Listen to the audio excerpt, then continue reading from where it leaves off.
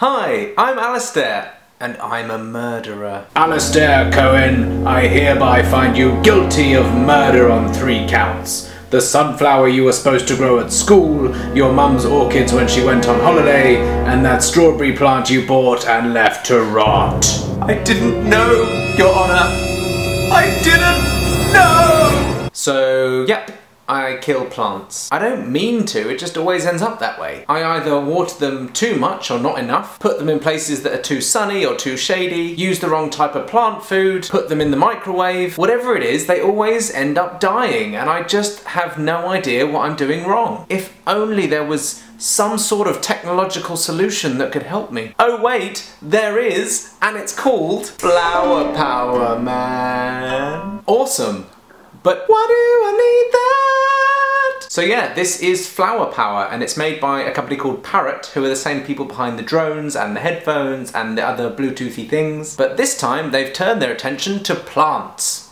Sure, why not? Essentially, it's a spike that you put into your plants that's packed full of sensors. It detects light conditions, moisture, fertilizer levels and temperature and sends you notifications to your phone if any of these things dip below optimum levels. Which is genius! No more dead plants, because then I can just water them and leave them until flower power tells me I need to do something. As opposed to what I do now, which is water them, then forget about them for several weeks until they're basically so dry they're on the brink of death, and then I drown them. But Ali, not all plants need the same conditions to survive, I hear you shouting horticulturally.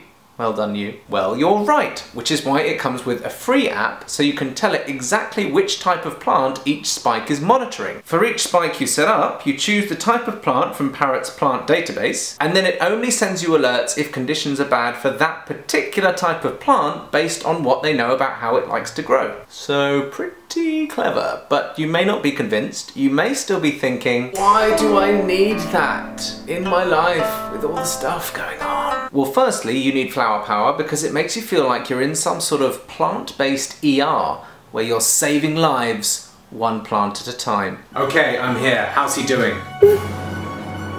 Vital signs?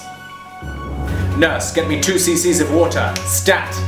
I will not let another one die, damn it. Not on my watch. Conversely, if you have a grudge against plants, then you can use the data to learn their weaknesses and slowly destroy them. I bet you don't even remember the allergy you gave me back in 93, do you? No. Well, I remember it well, and it changed my life forever. And now, you, you will suffer like I was made to suffer. the real-time tracking can save you a trip outside. Ah, what a wonderful day think I'll go outside and check on the plants. Oh no, wait, I live in England, and outside is always a terrible place to be. Hmm.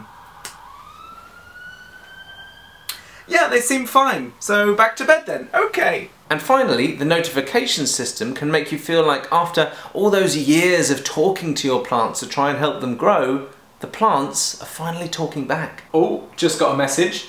Terry Tulip needs a drink. Classic Terry. Now I'm testing these out on two plants I have, a mint plant I've dubbed Minty and Baz, the basil plant, to see if I can bring them back to life from the fairly terrible state that they're in now using flower power. I mean, what was I supposed to do? I couldn't just leave them to die. So really, buying flower power all stemmed from my desire to get to the root of the problem as to why I kept killing plants. And we shall see just how effective it actually is. If you want to get your hands on some flower powers, then don't worry if you haven't bought any yet. You can get them from a number of online stores, but I heard through the grapevine that buying from Apple tends to be the cheapest. That wasn't even intended to be a pun. I genuinely bought these from the Apple website, but if you do buy them and you don't like them, then I can only be held partially responsible. I hope you found this video blooming wonderful. If you did, don't forget to like and subscribe to my channel, and I'll see you next time. Bye! Beaches!